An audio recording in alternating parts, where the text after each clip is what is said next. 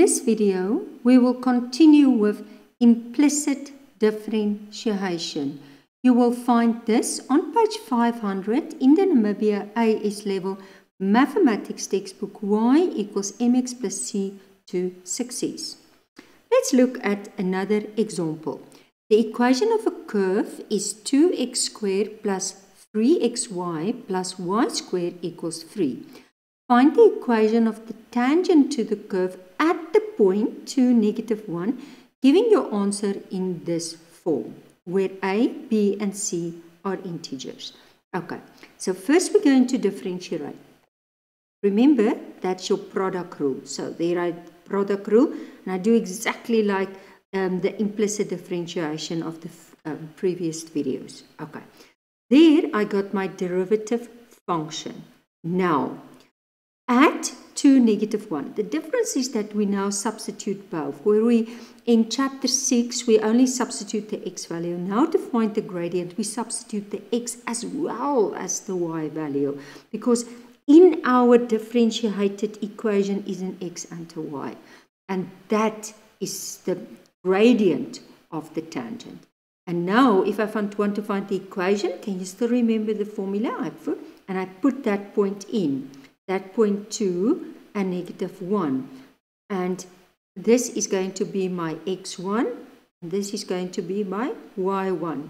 Okay, so we basically just substitute it there. Okay, so and then I just simplify it. I get rid of the fractions uh, and I keep it just like the form they said. So first the x, then the y, then the constant, then equals 0. Okay and then show that the curve has no um, stationary points. So I take the differentiated um, equation and I put it equal to 0. Okay, remember what I said? Put it over 1. And if you cross multiply, then you will find this. Okay, actually what you will find is you will find negative 4x minus 3y and you will get the 0. And then if you take it over, you will get this. Okay, and now you substitute this in the original equation. And if you do that, what will happen? This will not, because it will lead to an, a, a negative square root. So there's no other, it's just non, non-real roots. So the curve has no stationary points. And that's how you prove it. Okay, I want you to stop the video. Um, I think this number one is not so difficult. It's more or less like number B. But I want you to do number two. So stop the video and do number two. You can continue the video as soon as you are finished.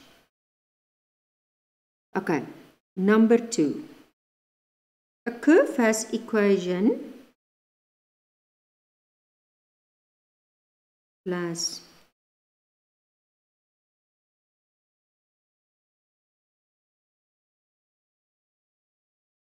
Okay. Find the equation of the normal, okay, keep this in mind, to the curve at the point 1 and 2. Okay, but first thing that we're going to do is we're going to differentiate. So we're going to say d, this is a x, so over dx, and we differentiate this one. You can also put the 3 in front. Okay, don't forget, that's the product rule. So I'm going to plus I rewrite the first one, I differentiate the second one. dy over dx. Remember, you're not finished. Plus, I rewrite the second one, I differentiate the first one.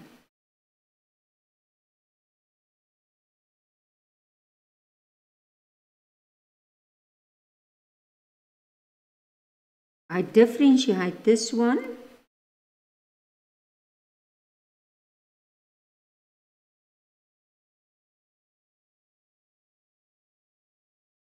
and I differentiate this one to x. And this is 16. Okay, now I do it. So this one is going to be 3, 1 over x plus, because it's all positive, it's fine. I can leave out the bracket. So it's just going to be 6x. That is going to be the 1. And then dy over dx. plus uh, y. This one is just going to be 6. This one is going to be 2y. Oh, and look, I always check myself. I forgot the dy over dx. In the second step, I check myself. Okay, so as soon as I differentiate to y, I must remember that. So this is going to be, uh, okay, where am I? Okay, it's 2y, that's correct. And then it's just going to be dy over dx. And that is going to be 0. Okay, so if I simplify this, this is 3 over x.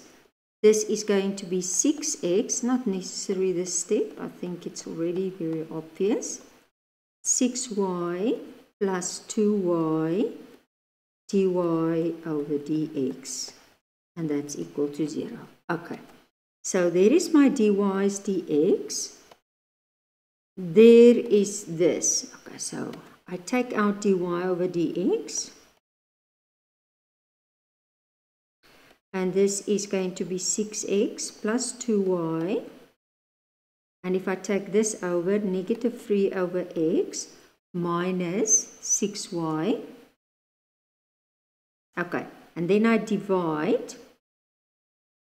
Okay, now to get it a little bit more simple, I don't think it's really so necessary, but I think I'm going to do it.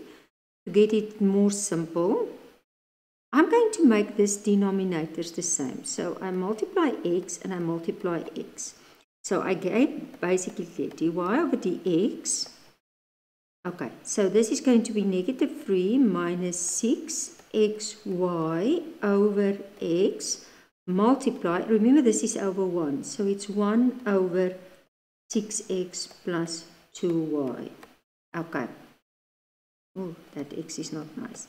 So this is going to be then negative 3 minus 6xy. And if you multiply, remember there's a bracket, it's going to be 6x squared. And if you multiply this it's 2xy. Okay. Now, this is my differentiated equation. Now, let's just go on. Um, find the equation of the normal to the curve. So, now first, before we go into, we're first going to say at, let's just write it, at, now what is that point? 1 and 2, the gradient of the tangent. We're first going to find the gradient of not the normal. Remember the normal and the tangent is perpendicular. That means they cut intersects with 90 degrees. The tangent, okay, and I'm just going to write it here. So it's going to be negative 3 and in the place of x, remember that's x, this is y. So in the place of x, I'm going to put a 1 and in the place of y, I'm going to put a 2. In the place of x, I'm going to put a 1. In the place of y, I'm going to put a 2. And then this is going to be, okay, so this is going to be negative 3, negative 12. And this is going to be 6 plus 2, it's 4 and that's going to be negative 15 over 10 and if I simplify that that is going to be negative 3 over 2 but remember that's the tan tangent. So therefore the gradient want to move it a little bit up the gradient of the normal is positive, positive, different signs, and reciprocal. Okay, because as soon as you did it, now if you have to find the equation, remember they want the equation. Then if it's, if it's going to be y minus y1, then you can just substitute this m. You don't have to say 1 over m and the sign's different. So it's just m and then x minus x1. So remember, that is going to be m now. And don't forget that your point 1 and 2 is going to be x1, y1. So let's substitute that. So that's going to be y, y minus 2 And m, remember, it's the normal now, so that's why it's the reciprocal, different signs. And then it's x minus 1. Okay, and then it's going to be y minus 2. So it's 2 over 3x minus 2 over 3.